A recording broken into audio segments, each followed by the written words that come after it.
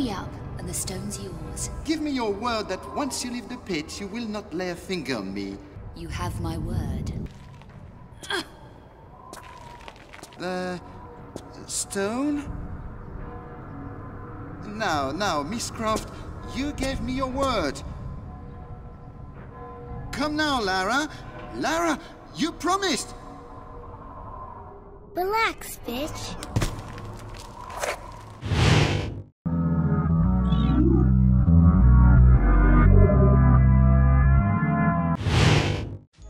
Following video will contain the junk ramblings of an angry and confused person.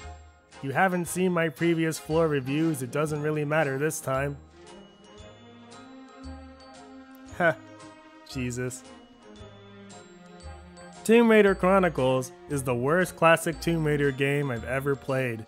I could do the usual bin, tell you that it was released in 2004, like every system ever at the time, maybe give you some facts about the development cycle, dying little changes that have been made between last revelation and this one. The Chronicles doesn't really try. Fact, I'm not even sure why this game exists at all. In an interview with Core Designs and Eason have done by the Tomb Raider of Core Designs website, he expresses that the team was experiencing some burnout with the yearly release cycle by this point. Haven't eaten, drinking, and breathing Tomb Raider for five years straight now. There's only a matter of time before I died. Made its way onto the lineup, I go while you play Tomb Raider Chronicles. The more you realize that the last revelation was definitely supposed to be Lara's last hurrah. Plus, wrong you ask? It looks exactly the same as other games you say? Well, son, why don't you come over here? Listen to a little story. It's all about how my life got twisted upside down. So if you could just kindly take a minute, you just, you just sit right there. I'll tell you why I do the things I do with my life. Our fifth installment brings some new changes to the table. One that's like hype is shit, and others that are baffling, frustrating, and or confusing. The change that stands out most from Tomb Raider Chronicles is definitely the game's performance. It's worse. Much worse. It's littered with bugs and shit that just shouldn't exist. The older games had their bugs, sure, but Tomb Raider the 5th has broken wired into its DNA. Object draw distances arbitrarily, cutscenes aren't polished, model consistency is forgotten about. Controls don't work as intended. The game crashes when loading. For a game running on the exact same engine as its predecessor, it's almost baffling how bad this game's performances is. It's not as broken as some other games, but it was a little disheartening to see the sudden drop in quality. Looking at various scenes from the game, it looks like just another adventure on its surface. But almost everything from this game is much worse than the last revelation, or any of the classics for that matter. Even worse than 2 Meter 1. Alright, let's run through it.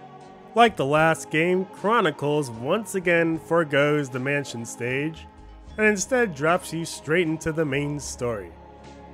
The main story is Lara Croft is still dead, and the butler, Forever in our hearts. along with two old friends, Remember me? I'm gonna run this stupid joke into the ground. Fancy meeting you here, princess. Fuck you. The League of Extraordinary Old People decide to recount some tales of lurid honor. Her memory Von Croy is still out in the desert digging for Lara's corpse, but these guys think it's a lost cause. What this means is that the game is going to take place over four separate scenarios. One that's like a typical stage of Tomb Raider, one where Lara loses her shit again, one where combat is entirely ignored to focus on exploration, and one that focuses on tactical espionage action. Even though this game is clearly a mandated cash grab, I respect the team for doing something different. Not the classic Tomb Raider games offer the exact same experience, which is a good thing. It's just unfortunate that this new direction utterly fucked over the game. The first scenario the men recount is the time Lara was an asshole in Rome, searching for the Philosopher's Stone, and how she bested the Flandrized duo of Larson Conway and Pierre Dupont.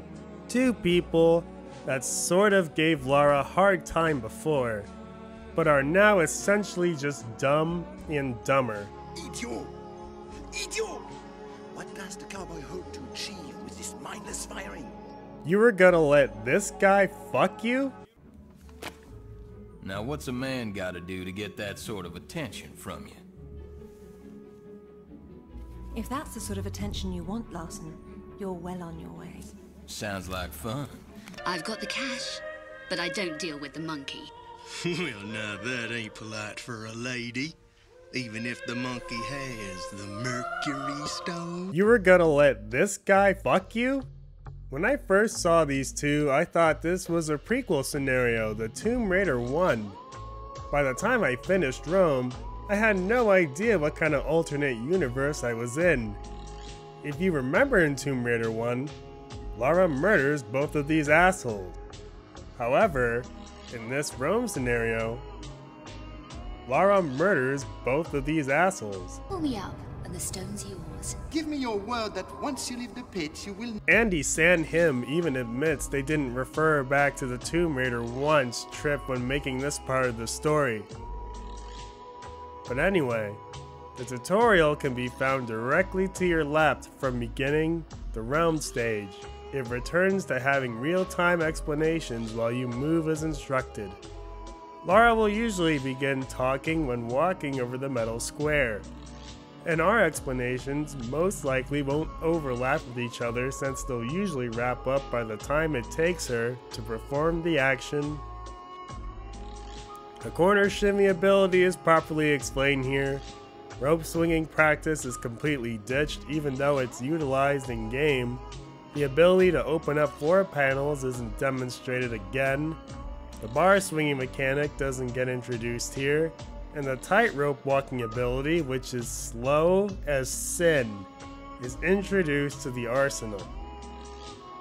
I don't understand the obsession with making actions slow and classic Tomb Raider.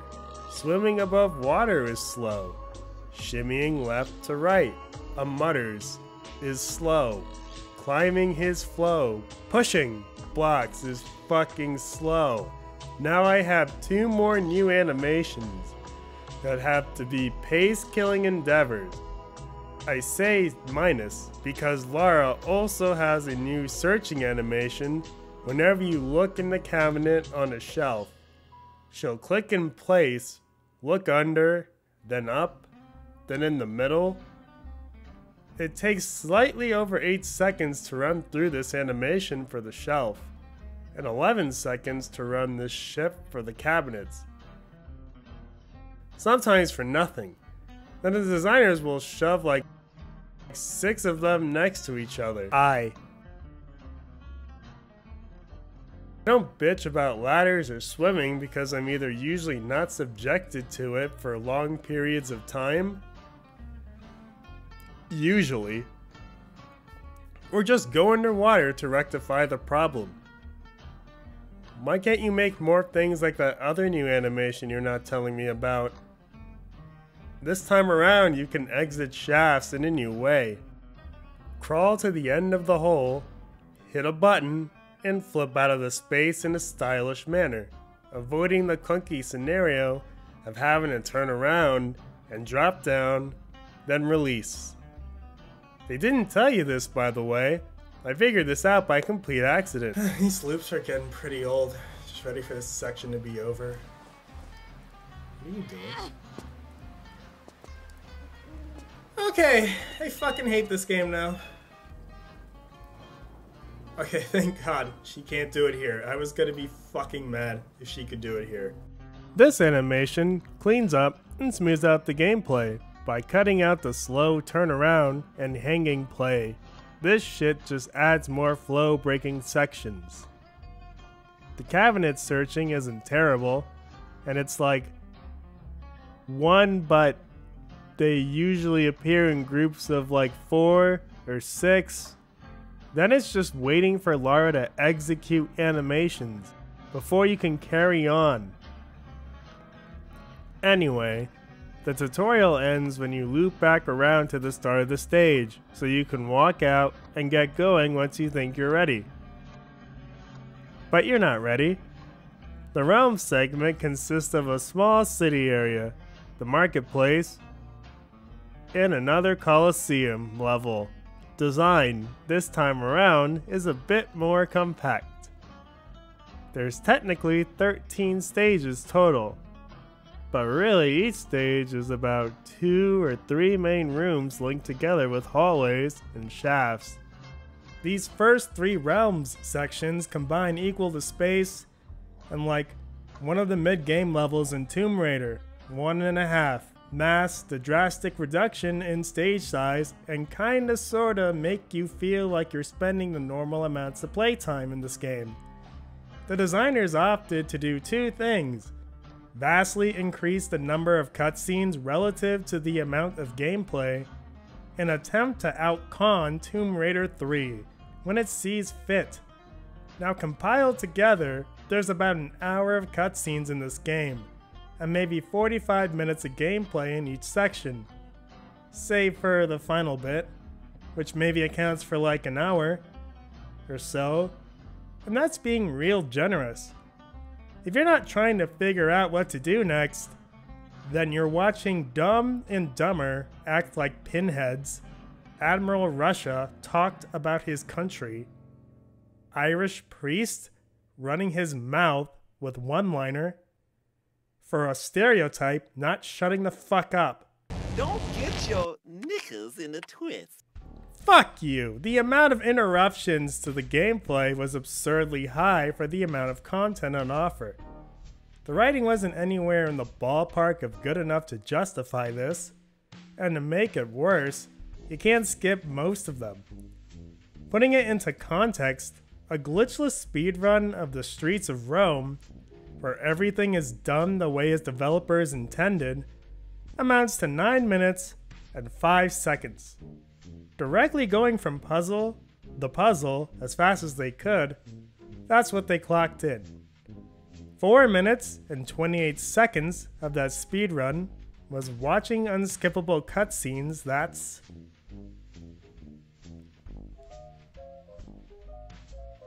And last revelation We'll show you where to go, and nothing is particularly hard. So unless you make a ton of wrong turns, nearly half your time here will be spent watching Dumb and Dumber talk about how they're going to use Lara for their own ends. Come, let's get off this roof, and I will buy you a milkshake. Should buy yourself a better game, asshole. The streets of Rome will have Lara, the scope, and revolver for puzzle solving and the beginning of the markets will return the crowbar to Lara, since you're just going to lose everything you find and start fresh in the next flashback. Ammo conservation isn't a huge deal in Chronicles. He can be very liberal with your gun, though there's not much to fire at. There's someone knowing my sty take the place of scarab enemies, and some bats that take the place of the locust. There's dogs, this fuckhead, and statues. That's huh first thing in the market is finding this climb wall above wall, figuring out you have to shoot this thing in the eyes before it murders you, and this mini boss. You're given some magnum ammo right before you find the statue, and you're given a shotgun right before this mini boss. So at least the game is telegraphing itself correctly. The Colosseum following the market is a really short linear or fair. You avoid a pitfall, you shoot some assholes with swords, some lions, cheat another statue, then finish your first flashback. The most difficult thing here is the puzzle where you need to raise a key with the crank and run over do it. Since the keys likes to pick and choose when it's invisible to you, you have to learn that it takes three crane, so they handle before you can start to run.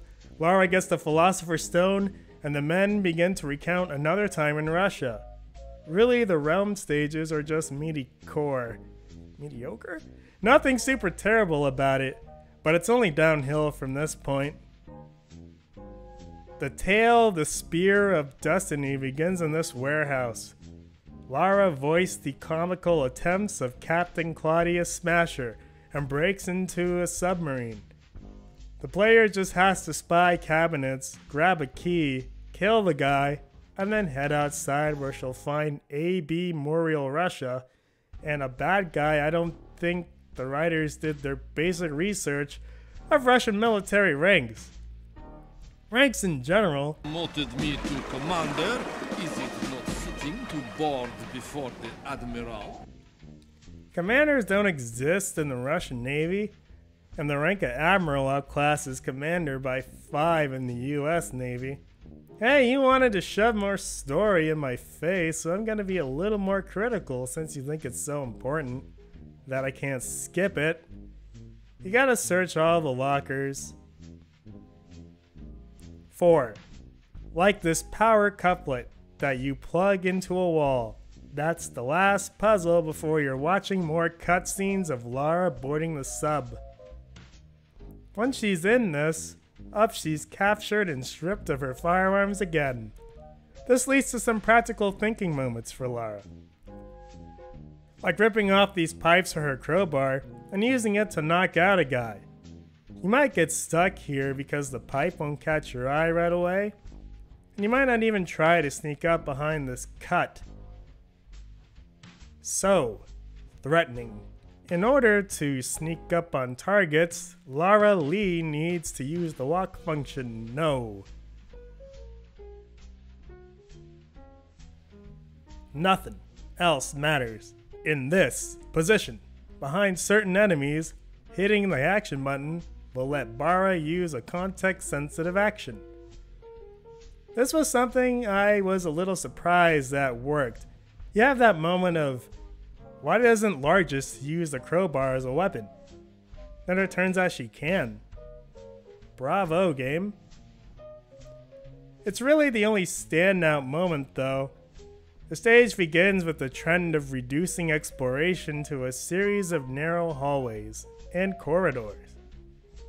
It might change the coat of paint, but it won't change the fact that the spaces you explore are super compacted. The sub is just the level designers hoping you get lost in a maze-like environment in order to stretch out the playtime.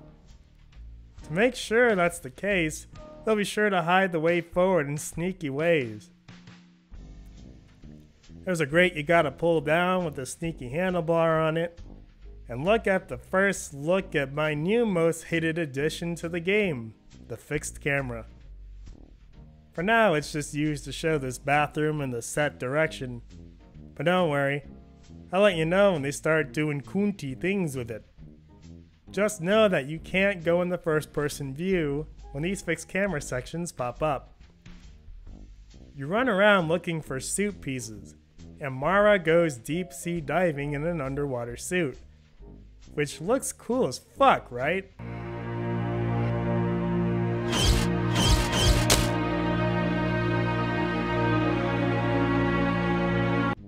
So turns out all you do is like swim to a hole, pick up a thing, and then swim back to the ship. From here, the bad guy is killed by the spear, and Lara needs to make an escape from the sinking sub. Here's where things begin to fall apart. There's no time limit or anything. Here, no sense of urgency. You just gotta go back through the same geometry as before, only with more hazards. Running through corridors was fucking boring the first time, so adding electrical hazards that make you explore even slower is the obvious solution to making it fun. Except, wait, no. No, it's not and you finally get to Admiral Russia, He tells you to find some oxygen to escape through the pods. Now, everything's pretty fucked up and busted, but the way you need to progress is by shooting a dent adventure up and out of your view. Like the great earlier, the model itself correctly telegraphs that something can be done to it, but the camera makes sure you won't see it. It comes in and war at a high angle in this room, so you're likely just to run past all the destruction back to this locked door. After all, you've just gotten the key. You passed by it earlier, so hey, must be the way. Since you can't progress here due to this electrical wire, you can end up slowly traversing hallways for a way to shut down the power. Or worse, try and pick up a Desert Eagle and electric water so you can try shooting the wires with the scope attachment. It goes one Kunti step further by showing you a locked door you can't open, potentially making you look around for a key that doesn't exist. There's like three things to do in this section. Getting in the end for a key, unlocking a door to shut off the power, and getting the oxygen. It's the level layout and camera work that'll make you spend far more time in this bland space than you really should. Next flashback sees the old Ben recounting some time they spend with teenage Lara. No, not that time, but the time she was a survival horror protagonist. The good thing about this section is a decision not to give Lara a new kind of firearm. She goes through this flashback completely naked. Some of the monster design is also pretty neat. That about wraps up the positives. This horror section was the first time I found myself noticing a step down in art direction. Both this game and Last Revelation are pretty blocky, but the Last Revelation made up for it was some nice lighting. Rome, the sub, the gallows, and the building are lit pretty flat. It doesn't give the lighting engine as much of a chance to show off. Anyway, we have about three puzzles standing in the way for completion of this area. Grabbing some pieces for a slingshot, lighting a tree on fire, and setting a heart in a hole. That's about it. This will be stretched out with confusing vertical level design of spooky corpse Dick Gaps, an Irish priest. What was in the hole? Nothing, you idiot. The area is fairly compact, so being obscure is the name of the game. Lara needs to make sure it over the slanted wood thing, so you have to make one of the most awkward jumps I've seen a classic Tomb Raider. The only reason things are like this is so that your eyes won't track the way forward immediately, making you waste time exploring other areas. Next to the creepy mall baby, there's a rubber band in the old barn, and a wood piece in the crash site. When you make this thing, shot, you're like, the fuck do I need this ship for if I was mashing buttons next to the offload three new models. I don't think I would have found out when I needed the slingshot for you gotta like shoot through the space here. There's nothing in the level design that tells you a slingshot is needed in the spot. So Laura breaks everything, grabs a torch, and lights a tree on fire for the heart of the spooky corpse, which she places in a hole. This leads her to the labyrinth, which is like the most inappropriate name for a very linear stage. There's three switches and no other clues around, so you're stuck trying all six combinations, hoping something happens.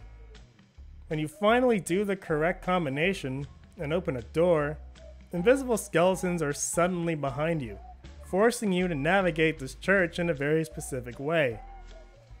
The camera also prominently highlighted a dead skeleton but what you actually need to do is interact with this piece of level geometry, which the game definitely told you about earlier. So I don't know why I made this complaint the first time. Uh, Okay, but once you find the bone dust under the weird bench thing, you've killed the skeletons and enter the main section of the labyrinth. It looks super promising, right? Finally, a complex tomb raiding challenge. All you have to do is like follow the one trail, flip a lever, then pick up the Tome of Eternal Darkness as you keep following the one path. Then you like follow a white light that leads you to the exit. Where's the rest of it? Fuck if I know, kid. Due to the buggy nature of the game, Lara and the priest briefly switch places mid conversation. It has protective symbols. Maybe you could use them. And then we begin the old mill. You set a torch down and make these rock throwing assholes cut their shit out. Then make a quick flip upwards to grab some chalk. Dora will draw her alchemy circle on the floor. Then Headless Horseman ripoff attacks Lara Priest, will save her, and get captured instead. So in order to save him, she needs to stop running the water in front of the mill at the demand of the Headless Horseman. Because as everyone knows, ancient spirits can't cross running water. Lara agrees to save the priest, as he makes his sassy remarks to the ghost. So here's some more up to use level design. You need to find an old coin underwater before Squidward Tortellini drowns you. Then put it in a cage so you can trap it and let the mole people eat it. The logic is that the thing is swimming around the coin, so it must be attracted to the coin. Good luck with that then. You head into the mill and discover Lara can swing off bars. As soon as I saw that thing, my exact words were, You know, this for Tomb Raider Legend, I could just swing off the bar. I don't know what they expect, but like, oh my god! Oh my god, she's doing it! We legend now, boys! Yeah! Yeah, puzzle using this thing is like a bit kunti. You need to crank this wheel twice to open a timed door that will shut in a few seconds. Not at once, or you won't make it. Not three times, or you won't make it, but twice. Once you learn by trial and error, bats assault you through the door to goad you into running. Even if you follow the path, you get looped into the water and then you have to do the puzzle again. You're supposed to jump up right before the slide to stop the windmill. But the hope is that you'll panic so that playtime will it stretch out. Then you got to figure out that you need to return back to the start so you can head down a side that this takes you to the rooftops where you can enter another building with the water wheel switch inside. After that, the section is done and you get another long ass cutscene you can skip. The final section is a building owned by Von Croy. The boys are reminiscing about the time Lara thought she was a good stealth game. Lara's after the iris at Von Croy in Cambodia, so she employs the likes of local black guys at the gate. You know from Tomb Raider Legend. That's it. This will be a long trip otherwise. I forgot you were such an optimist. He was actually in this game first. And oh boy, does he want you to know he's a black guy. I'm on the case. That's your job, girl. I ain't no X-ray vision superhero. Okay, you've been a bad girl. Fuck you. This final flashback is easily the worst section of the entire game. Lara was not designed for stealth gameplay. But I won't stop the devs from trying. They're gonna start in some vents because running through a maze-like series of bland hallways was so much fun the first time. There was a gap in particular that gave me a lot of trouble. I just kept running to my death, but after 14 meter games in a row, I knew the timing of my jumps couldn't be that bad. Turns out Lara just got stuck on the edge, rendering her unable to jump after the fun times in the event shaft. You come up to this great you know you've got to shoot, but the fixed camera will make sure you do it from a distance because you still can't enter first person mode when the camera is like this. Even though you can fight, enemies Lara only has this submachine gun, meaning her ammo is actually limited. Getting spotted by a guard, it will spawn more enemies draining your resources, so combat isn't encouraged. Instead, you'll be using chloroform on guards. You absolutely need to run past. There are some workers that won't pose a threat and ask Lara not to shoot, and you actually need to do this on a certain guard to advance through a certain door. This is where the Bucky nature of Chronicles cutscenes won from comically broken to actually broken. Say I held up the lab guy into an unskippable cutscene that's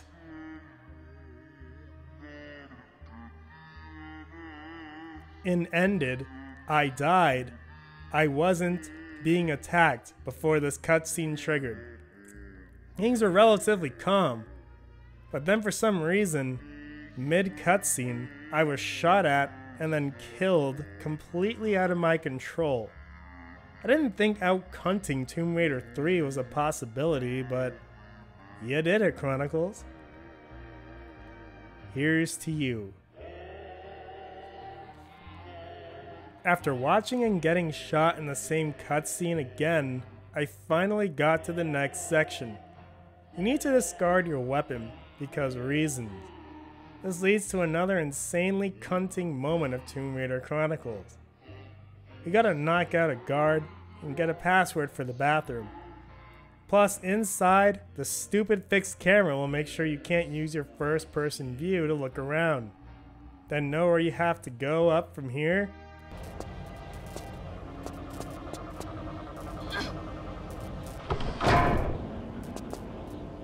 Yep. I'm honestly too fucked up to yell at this point. I've been drowning this all out with vodka pudding. But this is just a ceiling crack. Texture. In the roof. Ceiling crack equals events. Apparently. Then you need to climb up a long shaft and make a leap of faith behind you. You know, I wouldn't make that mistake if I could fucking look around. How about when you need to run from the sniper with a fixed point of view? Wasn't that fun? Even the puzzles that should be clever are fucking stupid because you have to learn by trial and error. Like, the one in the room with, like, the floor that's on fire. Touching the very normal looking floor set C1 fire. Good luck not dying to that on your first time. You gotta lure a guy to shoot the water tank so that doesn't happen. But you like, you need you need to telegraph that the floor is lethal the first time, you fucking asshole. Then there's a treasure chest puzzle where opening the wrong one murders you. You have infrared glasses. Ugh. I can spot traps. So after dying to a chest, I thought this would help me out. It doesn't.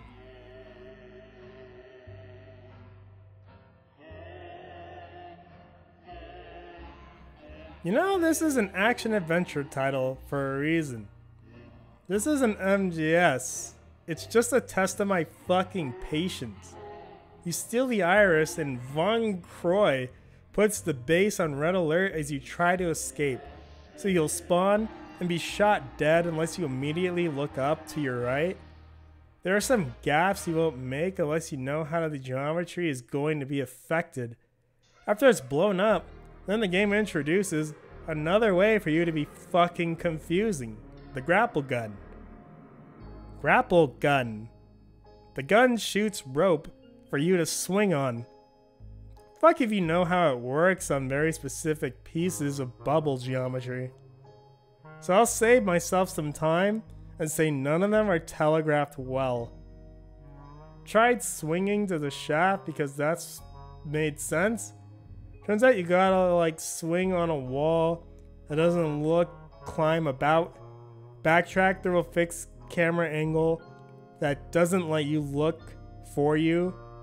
Are oh my god, is it over yet? Fighting Sam Jackson in the suit only to find bullets don't kill him because he's like a cyborg. Then you have to flood the place and you don't flood the place. Why am I still playing this game? Did you know going through this vent is like the way you need to go? Duh. Then you gotta like lead Sam Jackson robot to a spot so you can poison it with gas? Why does the robot need air? He got door keys while doing all this shit and then hang glide away. What the fuck is this game? I'm glad Lara was dead for this one. If she saw how the Breakfast Club ruined her game with their shitty story, she'd have them all executed. This is a game that gets progressively worse the more you play it. Rome starts out medio, bland. The sub gets you tired of the visuals, and the level design is intentionally disorienting. The Sleepy Hollow sections rely on Kunti tactics to stretch out simple levels. And the Irish section is just broken and Kunti at the same time. The best thing about this game is probably the level editor that came attached to the PC version. The actual game, however, is fairly bad. It was clear the team's heart wasn't in it anymore. It was time for a change. Classic Lara could exit the stage with four good attempts under her belt. Even if one of those attempts wasn't particularly great. Now she could evolve with the times. On the next generation of hardware.